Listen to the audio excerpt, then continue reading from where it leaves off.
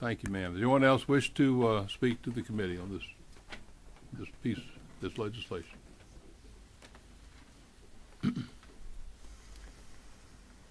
Pardon me. Yes, ma'am. Good hi, afternoon. um, Give us your name and who you represent, please, Okay, ma'am. my name is Kathleen Gary, and I'm a resident of the DeKalb County, and I'm also one of the people in Georgia who has a microchip.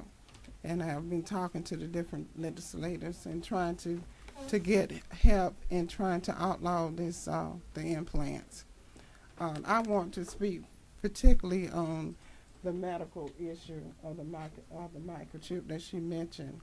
And, um, I just got a few things. Microchips, they infringe on issues that are fundamental to our very existence.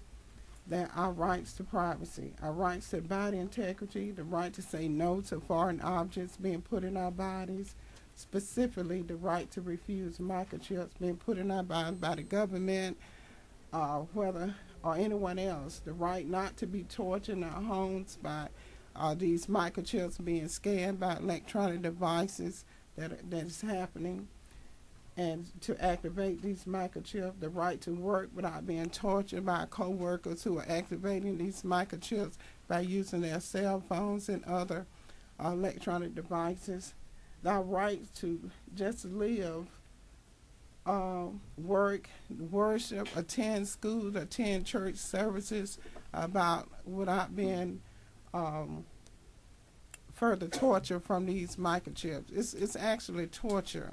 It's just not just a little implant that you put in. You're actually tortured by these um, these microchips. When they are scanned, they cause the body all kind of problems.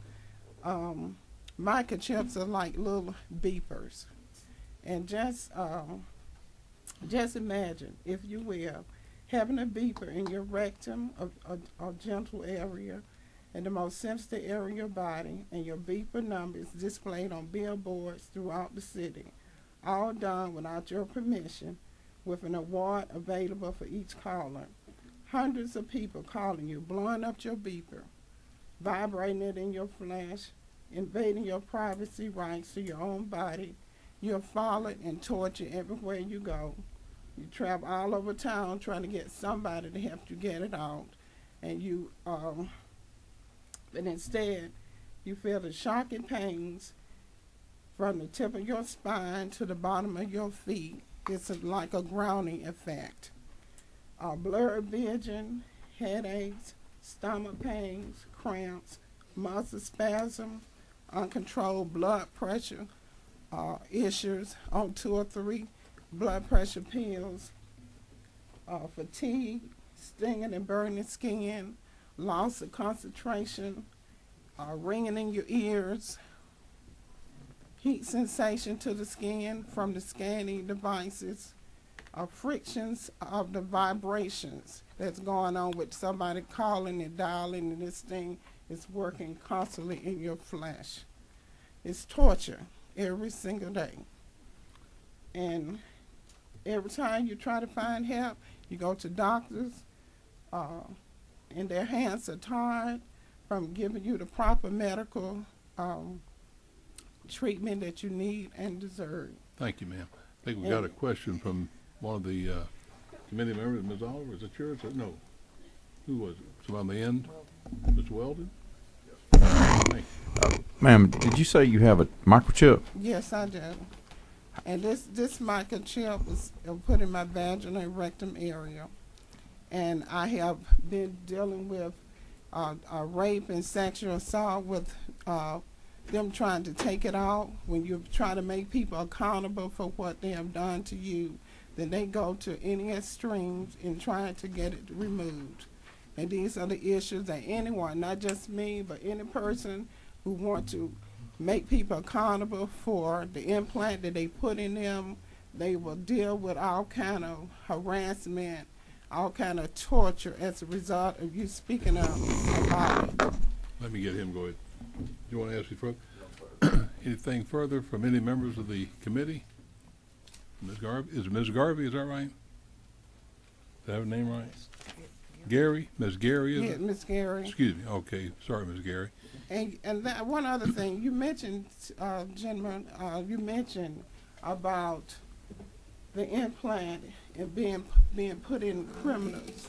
I feel like our right to, this deals with our right to our body integrity. This is a God-given right. When we are born, we are naked.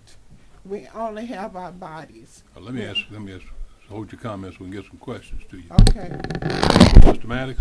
Thank you, Mr. Chairman. I guess I may have just missed it. I was just curious. You're saying this was an uh, involuntary? Involuntary, yes. I am in the U.S. appeal court right now. This case has been going on for the last eight, um, eight years. And we're trying to get some, um, help in trying to, to get this outlawed and get some justice in that. Um, I feel like Senate Bill two thirty-five is on the right side of justice. This is an issue that is Let me ask you, hold your ongoing. comments, we'll get the questions done. Okay. Anything further, Mr. Maddox? That's all. All right. Anything further from the committee? Let me ask Ms. Gary this, who implanted this in you?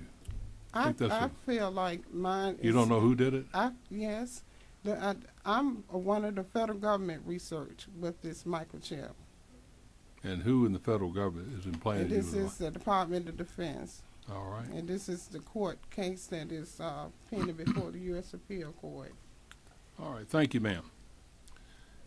Anyone else wish to address the uh, committee that hasn't had a chance to speak? If not, we will close off public input. Yes, ma'am? You'll have to come around and let, let you take a seat here.